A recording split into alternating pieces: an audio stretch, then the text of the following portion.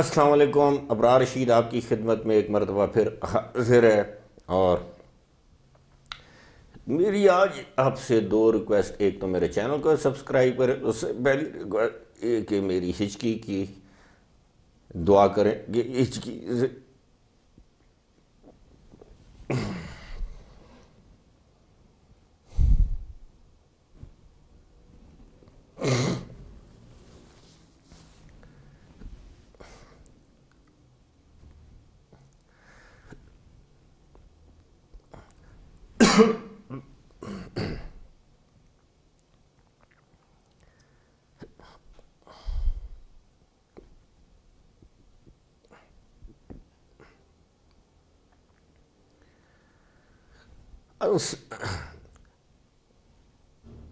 अस्सलाम वालेकुम।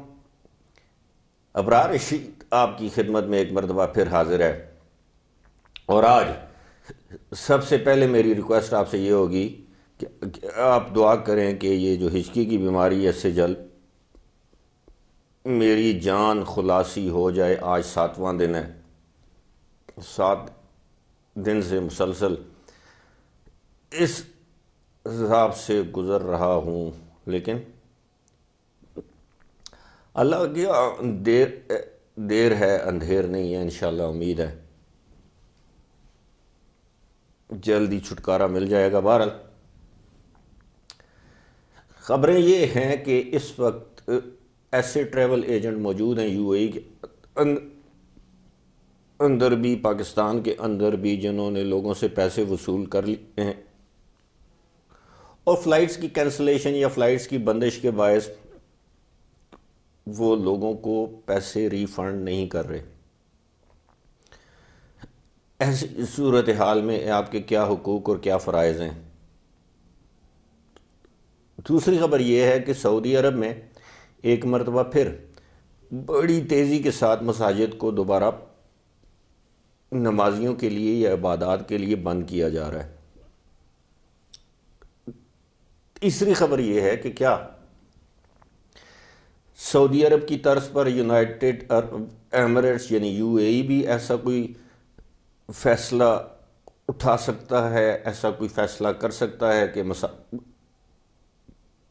मसाजिद को बंद किया जाए या मसाजिद में इबादत को या नमाज़ों को महदूद किया जाए। फ़िलहाल इस हवाले से वहाँ की अथॉरिटीज़ खामोश हैं। सऊदी अरब में हर गुज़रते दिन मसाजिद को बंद किया, जा नमाजियों के लिए। फ़िलहाल जो हमारी दो बड़ी मुकदरीन इबादत गाहें हैं मसाजिद हैं वो तो खुली खुली हैं लेकिन बहुत सी मसाजिद को बंद किया जा रहा है।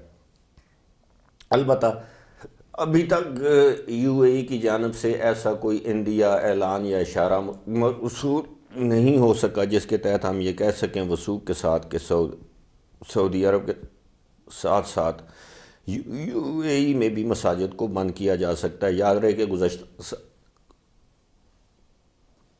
आपको याद होगा सऊदी अरब के साथ साथ यूएई में भी तमाम मसाजिद बंद कर दिया गया था बल्कि जुमे की नमाज़ की इजाज़त तो शायद अक्टूबर या नवंबर में दी गई थी। अब आते हैं वहाँ पर जो सूरत हाल है जो, जो लोग ट्रैवल एजेंट हजरात आपके टिकट रिफंड नहीं कर रहे। इस हवाले से आप वहाँ की जो आयाटा है इंटरनेशनल एयरलाइंस ट्रांसपोर्ट एसोसिएशन आप उससे भी शिकायत कर सकते हैं, वहाँ की मकामी टूरिज़म अथॉरिटी से भी शिकायत कर सकते हैं। ज़ाहिर है पाकिस्तान पाकिस्तान की तरह ये जितनी भी ट्रैवल एजेंसी चाहे वो पाकिस्तान में हो, चाहे वो यूएई में हो, किसी भी मुल्क में हो, किसी न किसी अदारे के ज़ेर इख्तियार या मातहत ये काम करती हैं और इनको मन मानी की इजाज़त नहीं दी जाती। इनकी बहुत ज़्यादा सिक्योरिटीज़ जो हैं, वो हुकूमत के पास गिरवी रखी होती हैं ताकि कोई फ्रॉड की में हुकूमत ना सिर्फ़ वो सिक्योरिटी कन्फिस्केट कर ले, बल्कि उसको लिक्विडेट करके जिन लोगों को पैसे अदा करने हैं, वो भी अदा किए सके। अगर आपके साथ ऐसा हो रहा है, जैसा कि मेरी मालूम में है कि बेशुमार